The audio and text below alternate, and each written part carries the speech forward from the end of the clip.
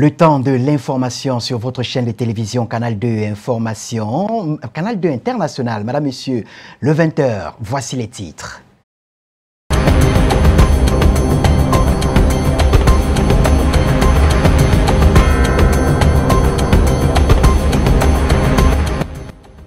Ils sont 4252 pèlerins camerounais en partance pour la Mecque. Le ministre de l'administration territoriale est à Garoua pour le départ de la première vague.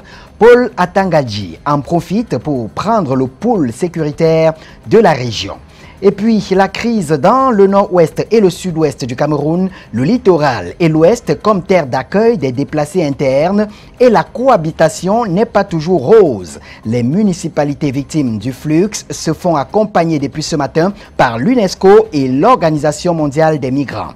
Qui sera le prochain président du syndicat national des journalistes du Cameroun? Réponse attendue au bout de la nuit. L'Assemblée générale élective qui a démarré ce matin se poursuit après plusieurs interruptions. Nous verrons cela avec l'île Piéjou qui se trouve d'ailleurs en salle des travaux. C'est tout pour les titres.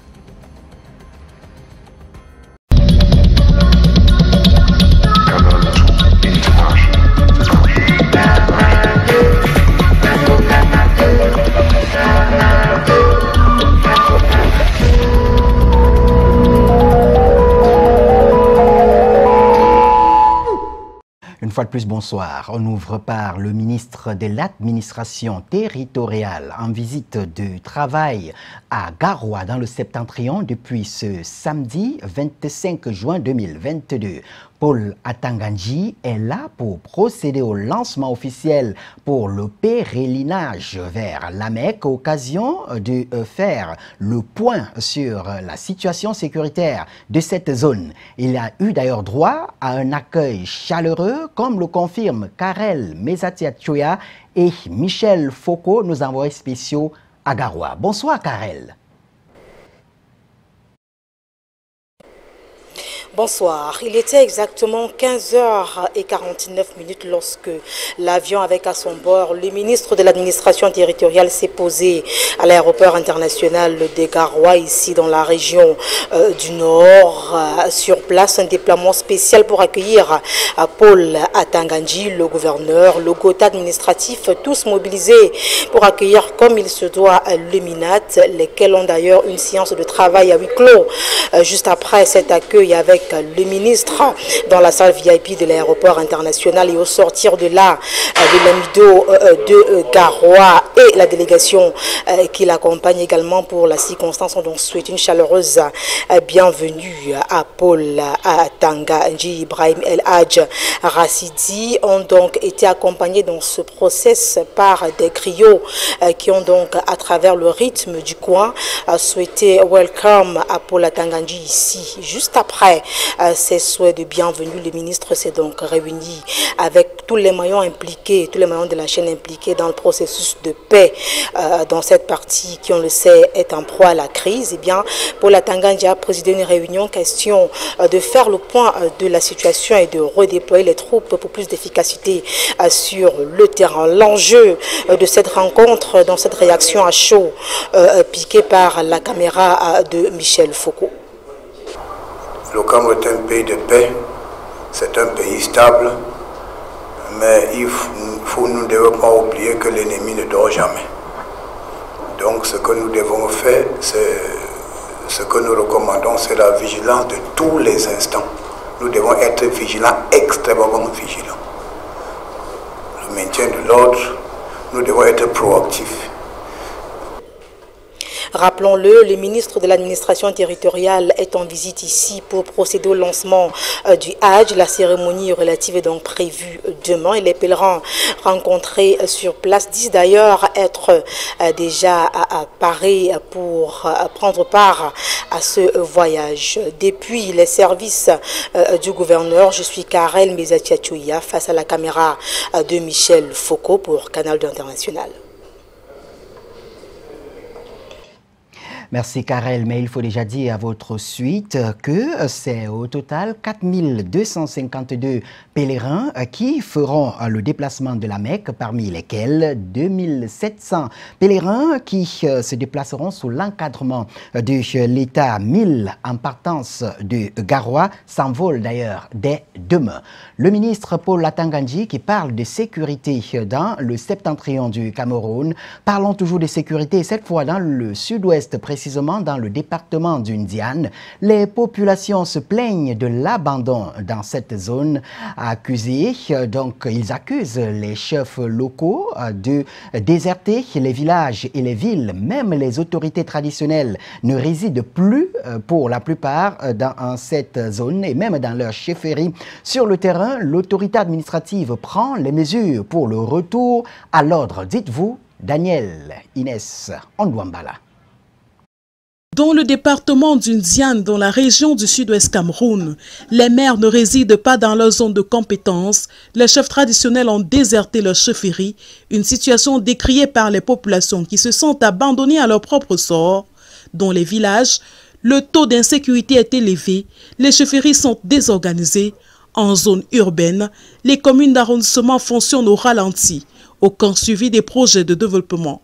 Au plan sécuritaire, les forces de défense et de sécurité sont certes présentes, mais les agissements de certains éléments suscitent la grogne des populations, des commerçants et transporteurs qui sont quotidiennement harcelés par toutes sortes de tracasseries, toute chose qui compromet la franche collaboration avec les populations. Le préfet d'Undiane siffle la fin de la récréation au cours de la réunion de coordination et de maintien de l'ordre tenue à Bamousso dans la presqu'île de Bakassi. L'autorité de l'État doit être restaurée. Les maires sont appelés à rejoindre leurs communes respectives et les chefs traditionnels leur chefferie. La discipline doit être de mise dans les rangs des forces de défense et de sécurité. Le préfet Gilbert Guibay Baldena appelle les populations à plus de collaboration avec les forces de défense et de sécurité pour un retour définitif au calme dans le en proie aux menaces des milices séparatistes.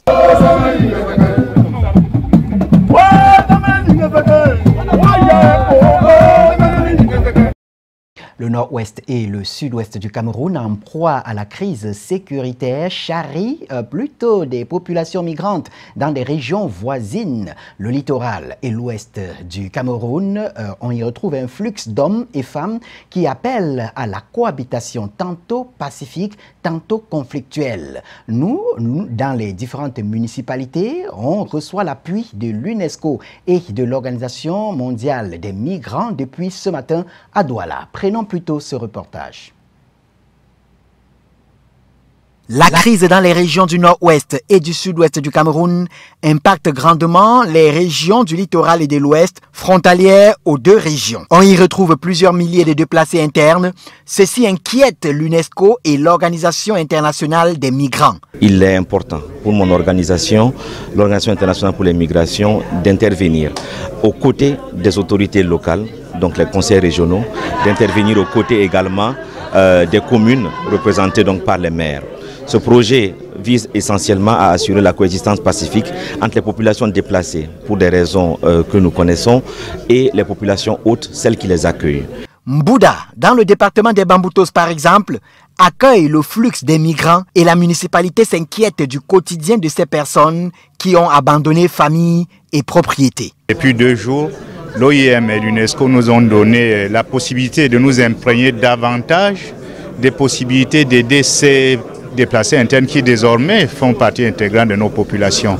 Et ça a été l'occasion pour nous de nous raffermir davantage de ce qu'il faut pour euh, mieux les encadrer. La localité de Sanchou, à l'ouest du Cameroun, a la particularité d'être partagée entre les régions de l'ouest, le littoral et le sud-ouest ce qui explique la forte présence des réfugiés. La commune de Sanchou, d'une manière particulière, a une histoire anglophone. Donc, bien qu'étant dans la partie francophone, il y a une partie de son peuple qui est anglophone. Donc, les populations qui ont été déplacées des suites des conflits euh, du nord-ouest et du sud-ouest ont été bien accueillis. Ils sont à Sanchou chez eux. Et donc, on ne peut pas euh, parler de quelconque problème d'intégration. À Douala, le projet de coexistence pacifique et autonomisation des jeunes déplacés dans les régions du littoral et de l'Ouest prend corps. Il est question de canaliser l'inflation démographique. On rappelle que lors de ces travaux, les différents gouverneurs des régions de l'Ouest et du littoral étaient bel et bien représentés. On reste dans la préfectorale et dans le cadre de la coordination administrative et le maintien de l'ordre. Le gouverneur de la région du centre euh, Paul Béa, était en Bancomo dans la Mefoué à Kono. Les mauvaises pratiques dans les communes ont été soulevées et les propositions de solutions élaborées.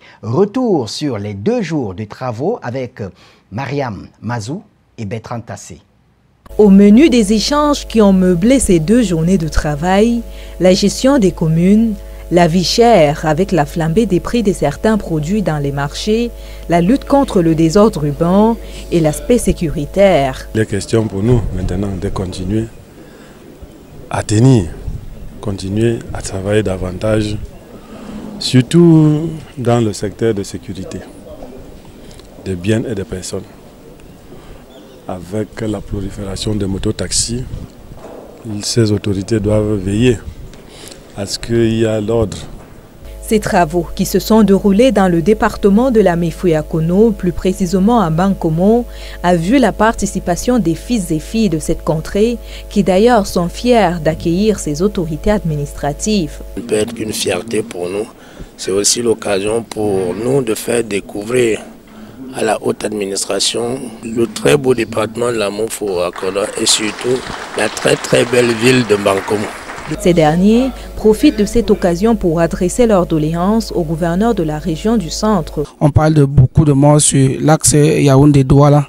Donc, si les assises peuvent nous aider à, à trouver une solution. Ces travaux prennent donc fin avec des recommandations à l'appui. Notre travail sera donc maintenant, comme le, gouverneur nous l'a recommandé, de descendre sur le terrain pour sensibiliser euh, les populations afin qu'elles évitent ces ventes anarchiques euh, à tour de bras des terrains, que les ventes soient ordonnées et qu'il y ait moins de déchirures au niveau des familles. Le gouverneur, à la sortie de ces assises, s'en félicite de la gestion du Covid-19 dans la région du centre et met l'accent sur le rattrapage des retards engagés dans les budgets d'investissement. En santé, intéressons-nous à la lutte contre la poliomyélite. Le second tour de vaccination se prépare entre le 1er et le 3 juillet 2022. Les enfants âgés de 0 à 5 ans euh, recevront les doses de vaccin. Information donnée à Douala par le coordonnateur régional du programme chargé de la vaccination pour le littoral. Mireille Flore Defofotso et Marius Koussou nous donnent la pleine mesure de ces informations.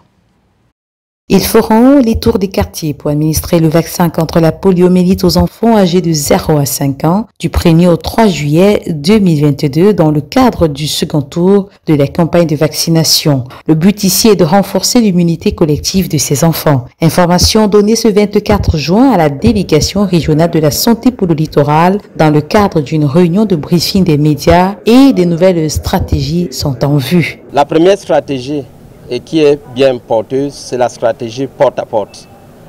On aura aussi la stratégie fixe au niveau des formations sanitaires. On aura les stratégies fixes temporaires. Ça peut être au niveau des chefferies, au niveau des églises, au niveau des marchés, pratiquement dans tous les lieux au sein de la communauté où il y a brassage des populations. Euh, on pourra également avoir quelques stratégies spéciales au niveau de certains endroits. Pour ce second tour, les objectifs sont clairs. Pour pouvoir atteindre cet objectif principal, il est important d'informer au moins 95% des parents avant le passage des équipes de vaccination. On doit pouvoir vacciner 100% des enfants âgés de 0 à 59 mois en administrant deux doses du vaccin polio oral à chaque enfant. On doit également au cours de cette campagne pouvoir renforcer la recherche active de tous les cas de maladies évitables par la vaccination, les principales maladies évitables par la vaccination. Et aussi, il va falloir, au cours de cette campagne, recenser tous les enfants âgés de 0 à trois mois qui n'ont pas date de naissance. Un plaidoyer est fait à l'endroit des parents pour qu'ils réservent un accueil favorable aux équipes de vaccination qui vont sillonner les ménages et cette campagne se déroulera dans les 24 districts de santé que compte la région du littoral. Restons en santé. Ce 25 juin est journée mondiale de lutte contre le vitiligo, une maladie auto-immune qui euh, se caractérise par la destruction de la mélanine, maladie mal connue des Camerounais et également les victimes font l'objet de curiosité. Mireille Flore Defofoto a rencontré deux jeunes vivants avec la maladie. Ils disent leur quotidien. 14 années que Jude Romaric Kenyé vit avec le vitiligo. Tout commence à l'âge de 17 ans avec l'apparition d'une tache blanche sur son dos. Quand on me regardait, on était surpris, inquiet même à la limite. Et moi, ça m'a beaucoup gêné. Donc, j'ai passé presque 14 ans à attirer des jugements, et peut dire défavorable sur la couleur de ma peau. Donc cette maladie touche juste l'estime de soi. Donc aujourd'hui je voudrais dire aux communs des mortels que cette maladie ne fait rien d'autre. Ce n'est pas contagieux de par mon expérience. C'est pas contagieux, ça ne fait rien. C'est juste que ça s'attaque à l'estime de soi parce que ah, il me regarde parfois quand je me mis au miroir et puis je regarde, bon, je suis bizarre, mais avec le temps, j'ai appris à vivre avec cette maladie. Au départ, son entourage était très sceptique. Aujourd'hui, les choses changent véritablement. Pas vraiment pour dire vrai, j'étais un peu euh, dérangée, un peu. Parfois, je, je me demandais comment est-ce qu'il vit au quotidien avec ça, comment est-ce que les gens le prennent, parce que moi, j'étais quand même un peu réticente d'aller vers lui et tout. Mais avec le temps, j'ai compris que c'était juste une maladie qui n'attaquait que la peau. Parce que dans son esprit, quand tu causes avec lui, il a un esprit très positif. Et moi, je me suis aussi habituée à rester avec lui. Et à la longue, je vois même que c'est juste un signe de, beauté. C'est juste une, marque de beauté là. Et vraiment, je conseillerais à tous ceux qui voient ces maladies comme euh, une fatalité d'arrêter parce que ce n'est qu'une maladie qui attaque rien que la peau et non l'esprit. Je me suis rendu compte qu'en réalité, lui il a fait de ça un plus. Donc il a su vaincre la maladie et pouvoir, euh, pouvoir s'installer auprès des gens. Donc ce qu'il pourrait dire. Et je souhaiterais que ceux qui ont cette maladie aussi fassent de même comme lui ne pas se retirer, s'occuper du monde et tout. Nous l'avons retrouvé à son domicile au quartier Betty ce matin alors qu'il se préparait à se rendre à son lieu de service. Il faut porter un vêtement à manches longues pour se protéger des rayons du soleil. En plus de l'usage des crèmes anti-solaires qui quelquefois sont difficiles à trouver dans des pharmacies. Vendeur à la sauvette au marché Mokolo, une fois le ravitaillement effectué, il peut écouler sa marchandise.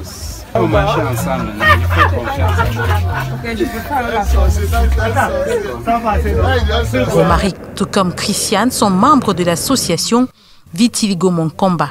En intégrant l'association, c'était pour qu'ensemble, nous puissions avoir une seule force et pouvoir le vaincre. Là, à chaque fois, expliquer aux gens ce que tu as tout le temps, tout le temps, et d'autres personnes ne connaissent pas certainement le vitiligo. C'est quoi le vitiligo? Donc euh, on a cru même à un moment donné que c'était la sorcellerie et tout, donc, euh, ou un sort qu'on t'a lancé. J'ai accepté la maladie déjà. Aujourd'hui 25 juin, date de célébration de la journée mondiale de lutte contre le vitiligo. Le constat est celui que la maladie est mal connue et les victimes ont du mal à l'accepter. Il faut rappeler que le vitiligo a été donc célébré, notamment une journée consacrée à la lutte contre cette maladie. Après le décès de Michael Jackson, on rappelle que lui également était victime du vitiligo. Et en prélude à la 35e édition de la journée internationale contre l'abus et le trafic illicite de drogue, le personnel du ministère de la Santé publique sensibilise la population dans les rues de Yaoundé. Ils brandissent des affiches pour dire non à la consommation de la drogue et les vacances sont d'ailleurs le moment idoine du laisser-aller. Mariam Mazou et Constant Kamga. Aux premières heures de ce samedi 25 juin 2022, le top départ est donné ici à l'esplanade du ministère de la Santé publique. La caravane prend ensuite la direction du carrefour Rémien en passant par le palais de justice, la garnison militaire et l'Assemblée nationale. Ce personnel du ministère de la Santé publique est engagé dans la lutte contre l'abus et le trafic illicite de drogue. Nous avons pensé que la marche est un outil, sinon euh, une voie qu'on peut utiliser pour pouvoir communiquer et sensibiliser autour de nous, sensibiliser euh, les populations, notamment celui euh, de Yaoundé, pour dire qu'ensemble, il faut que nous agissons Après environ 30 minutes de marche non-stop, une pause s'impose au rond-point éducation, question de se détendre un peu et se dégourdir les jambes en esquissant quelques pas de danse. D'après ces marcheurs, les cas de stress et de dépression observés lors de la pandémie à coronavirus a par ailleurs provoqué la surconsommation de certains stupéfiants comme le tramadol, l'alcool et la chicha. En cette période de vacances, le moment est donc bien choisi pour intensifier la sensibilisation. Nous leur disons de ne pas baisser la garde parce que la drogue, ça ne laisse personne, euh, ça n'épargne personne. Donc, ne pas baisser la garde veut dire qu'il faut être vigilant, surtout pour notre jeunesse pendant ces vacances. Qu'ils soient vigilants, qu'ils évitent les mauvaises compagnies. En rappel, cette marche sportive est organisée en prélude à la Journée internationale contre l'abus et le trafic illicite de drogue qui se célèbre ce dimanche 26 juin 2022 sous le thème Ensemble, agissons contre le trafic de drogue sous toutes ses formes.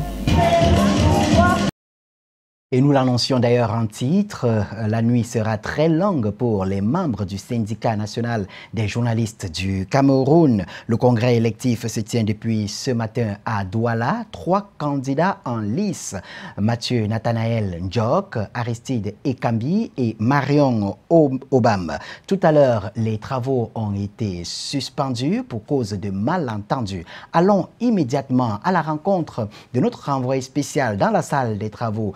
Lille euh, Piéjou. Vous dites que les travaux semblent avoir repris de ce côté-là. Bonsoir Lille. Bonsoir euh, David Sanjo, bonsoir aux téléspectateurs et merci de nous retrouver ici à l'hôtel Design où se déroule le congrès électif du syndicat national des journalistes euh, du Cameroun. Depuis le matin, euh, toutes les sections des 10 régions du Cameroun sont mobilisées ici pour ce rendez-vous important de l'univers médiatique au Cameroun. Trois candidats en lice, Nathalie Njok, Aristide Kambi, Marion Obama. Les travaux étaient suspendus euh, parce que les membres exigeaient du bureau sortant un bilan financier. Jusqu'à présent, les votes n'ont pas encore démarré. On espère que d'ici quelques heures, on aura certainement le nom, pourquoi pas, du futur président du syndicat national des journalistes du Cameroun. Et on nous annonce d'ailleurs que les travaux ont repris euh, dans la salle d'à côté. On reviendra d'ici demain euh, pour faire le point euh, sur ce qui s'est passé. La nuit s'annonce très très très longue ici et on aura des informations pour les téléspectateurs des canaux international. Merci Lille Pigeot. Vous campez pour nous dans cette salle pour avoir la bonne information qui sortira euh, des travaux de cette Assemblée générale élective du syndicat national des journalistes du Cameroun.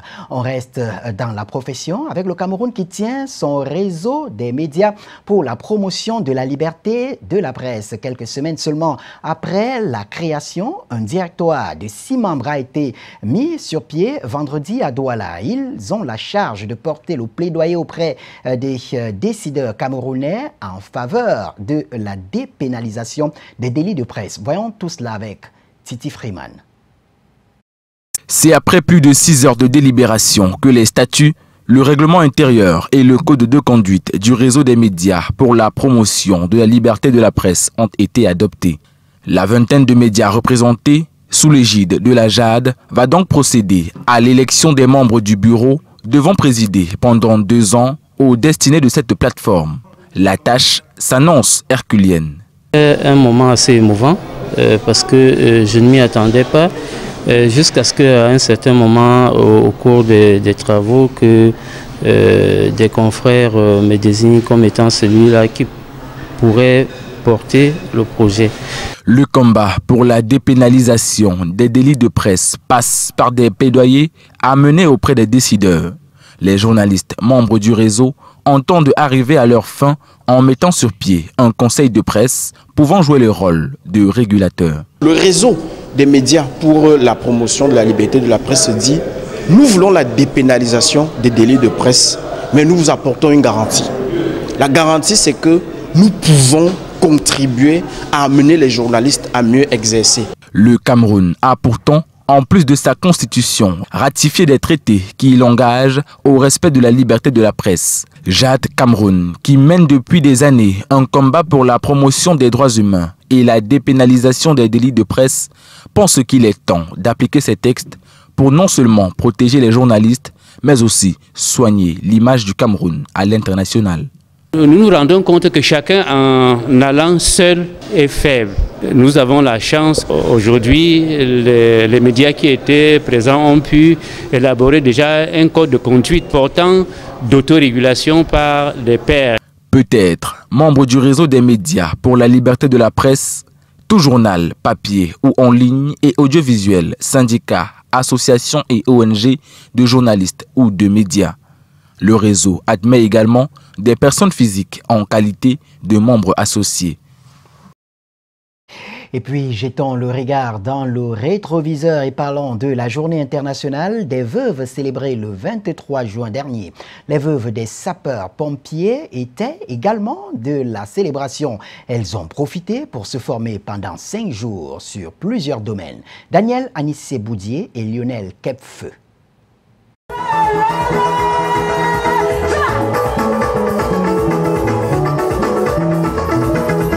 Des veuves joyeuses, un jour de l'année à elles consacré pour oublier les peines quotidiennes et la tristesse due au départ de leurs époux. Ce sont des veuves de l'arrondissement de Yaoundé 6e et épouses de fonctionnaires décédés du Corps national des sapeurs-pompiers à l'honneur ce 23 juin. C'est ce qui est arrivé est arrivé. La vie continue. On n'oublie pas les défunts, mais on doit le prendre avec euh, l'esprit de Dieu. Donc, pour nous ici à Yaoundé 6, nous sommes en train de nous valoriser et de nous rendre euh, très courageuses. Le clou d'une semaine d'activité durant laquelle ces mamans veuves ont été coachées en entrepreneuriat avec à la clé une session de formation dans plusieurs secteurs d'activité. Il y avait la fabrication du gel, la fabrication de l'eau de javel, la fabrication de bailaises artisanales et de savons en poudre et liquide. Nous avons appris beaucoup de choses euh, sur le plan de l'organisation, sur le plan des articulations aussi. Il y a des choses que nous allons porter euh, sur la table du général de brigade Mahamat que nous avons apprises ici et qui seront bénéfiques aussi aux veuves sapeurs-pompiers. L'action initiée par la municipalité des Yaoundé 6e a pour unique visée de participer à l'épanouissement de la veuve. Voir ces femmes qui ont perdu leur mari, parfois dans des conditions extrêmement difficiles et qui vivent dans des conditions difficiles, euh, voir ces femmes aujourd'hui tenter d'oublier un peu euh, leur vécu quotidien, ça fait chaud au cœur. La journée internationale de la veuve est célébrée ici en très grande pompe. Danse, prestation d'artistes et musiciens et au retour, un petit cadeau pour chaque femme et notre regard reste dans le rétroviseur. Cette fois, pour s'intéresser aux différentes innovations chez les archivistes, ils sont désormais assermentés. Il y a eu à Douala la prestation de serment des archivistes, des hommes et femmes, qui non seulement conservent les documents, mais aussi doivent garder secrets les dossiers dont ils ont connaissance. L'histoire d'une prestation de serment nous est contée par Titi Freeman et Stéphane Binac. Devant la barre, ils promettent de travailler avec toute la probité morale et dans le strict respect du secret des documents qu'ils conserveront. Ici, au tribunal de grande instance du Vouri, les archivistes venus des différentes administrations prêtent serment. Le juge ne manque pas de rappeler la portée de cet acte.